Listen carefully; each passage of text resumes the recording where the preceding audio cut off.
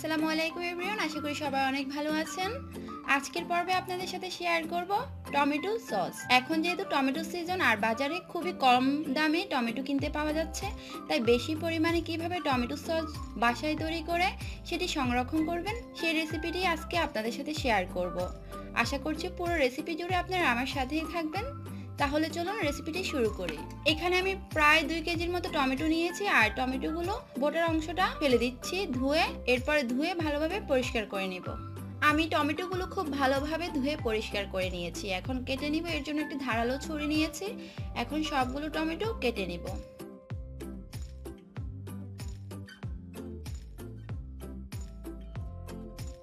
আমি চার ভাগ করে কেটে নিচ্ছি আর মুখের যে সাদা অংশটা, শক্ত অংশটা রয়েছে সেটি ফেলে দিচ্ছি। এভাবে আমি সবগুলো টমেটো কেটে নিব।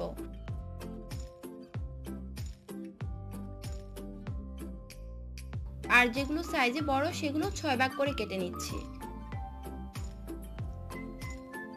আপনারা আপনাদের পছন্দ মতো সাইজে কেটে নেবেন। আমার এখানে সবগুলো টমেটো কেটে নেওয়া হয়ে গিয়েছে। এখন আমি সবগুলো একটি বাটিতে তুলে নিচ্ছি।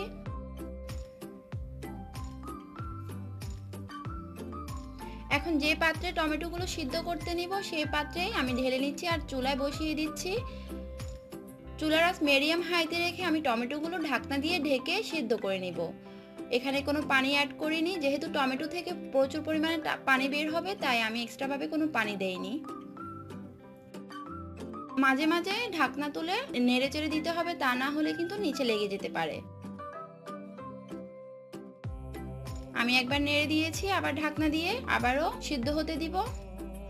প্রায় দশ মিনিটের মতো টমেটোগুলো জাল দেওয়ার পর দেখুন, টমেটো থেকে খুব পানি বের হয়ে গিয়েছে। এখন এই পানিটা যথাসম্ভব শুকিয়ে নিতে হবে, তা না হলে কিন্তু সস বানানোর সময় একটু টাইম লাগবে। তাই এখনই পানিটা যতটা সম্ভব শুকিয়ে নেওয়ার চেষ্টা করবেন। এখন আমি পানিটা কিছুক্ষণ শুকিয়ে আসা পর্যন্ত আরও কিছুক্ষণ চুলা রেখে জাল করব। আমার এখানে টমেটো পিউরিটা হয়ে গিয়েছে, তো সবগুলো টমেটো খুব ভালোভাবে নরম হয়ে গিয়েছে। এখন চুলা থেকে নামিয়ে নিব আর ঠান্ডা হওয়া পর্যন্ত অপেক্ষা করব। টমেটোর পেস্টটা পুরোপুরি ঠান্ডা হয়ে যাওয়ার পর আমি এখন ব্লেন্ড করে নিব, এই জন্য একটি ব্লেন্ডারে জাগ নিয়েছি। এখন অর্ধেকটা পরিমাণ দিয়ে দিব। আমি পুরোটা একসাথে ব্লেন্ড করব না, অর্ধেক অর্ধেক করে ব্লেন্ড করব। আপনারা চাইলে চালনিতে চেলেও পিউরিটা নিয়ে নিতে পারেন। আমার এখানে ব্লেন্ড করা হয়ে গিয়েছে, একেবারে মসৃণভাবে ব্লেন্ড করে নিয়েছি। এখানে একটি বাটি নিয়েছি আর একটি চালনি নিয়েছি। আর যে ব্লেন্ড করা টমেটোর পেস্টটা সেটা আমি এখন চেলে নিব। অবশ্যই চেলে নেওয়ার চেষ্টা করবেন, তাহলে একেবারে স্মুথ একটা পিউরি পাবেন।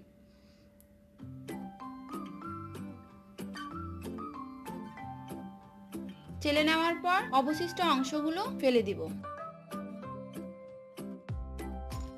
খুব মসৃণ একটা পিউরি পেয়ে গেলাম। এখন চুলায় একটি প্যানের মধ্যে এই টমেটোর পিউরিটা নিয়ে নিচ্ছি। সম্পূর্ণ পিউরিটা দিয়ে দিলাম।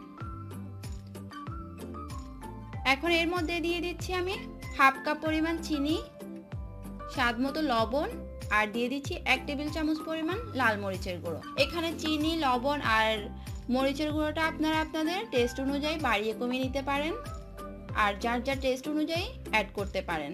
এখন চুলার আঁচ মিডিয়ামে রেখে আমি জাল করতে থাকব। কিছুটা ঘন হয়ে আসলে এর মধ্যে দিয়ে দিচ্ছি ওয়ান ফোর্থ কাপ পরিমাণ ভিনেগার বা সাদা সিরকা।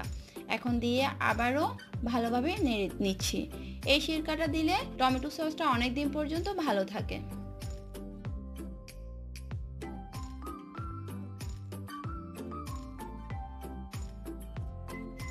যখন টমেটোর সসটা ঘন হয়ে যাবে, সে পর্যায়ে নামিয়ে নিব কারণ ঠান্ডা হয়ে যাওয়ার পর এটা কিন্তু আরও কিছুটা ঘন হয়ে যাবে।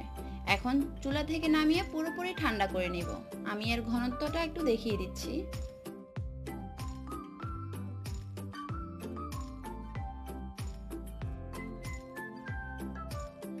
আমার এখানে হয়ে গিয়েছে টমেটোর সসটা, আমি এখন চুলা থেকে নামিয়ে ঠান্ডা করে নেব। সসটা পুরোপুরি ঠান্ডা হয়ে যাওয়ার পর এখন আমি দেখাচ্ছি যে টমেটোর সসটা কেমন ঘনত্ব হয়েছে। এই টমেটো সসটা আপনারা দীর্ঘদিন ধরে সংরক্ষণ করে রাখতে পারেন। তবে অবশ্যই চেষ্টা করবেন একেবারে পুরোপুরি ঠান্ডা করে তারপরে এয়ারটাইট বক্সে রাখতে। আর অবশ্যই যে বক্সে সংরক্ষণ করবেন, সেই কাচের জার বা বক্সে যাতে কোনো পানি না থাকে। একেবারে শুকনো কোনো জারে সংরক্ষণ করবেন আর নর্মাল ফ্রিজে রেখে চার থেকে পাঁচ মাসের মতো সংরক্ষণ করতে পারেন। এর থেকে বেশি সংরক্ষণ করতে চাইলে ডিপ ফ্রিজে রাখতে পারেন। আশা করছি আমার আজকের রেসিপি আপনাদের একটু হলেও উপকারে আসবে। যদি আজকের এই টমেটো সসের রেসিপিটি ভালো লেগে থাকে, তাহলে প্লিজ আমার চ্যানেলটি সাবস্ক্রাইব করে পাশে থাকা বেল বাটনে ক্লিক করবেন। আর অবশ্যই একটি লাইক দিতে ভুলবেন না। আজ এ পর্যন্ত সবাই ভালো থাকুন। আল্লাহ হাফিজ।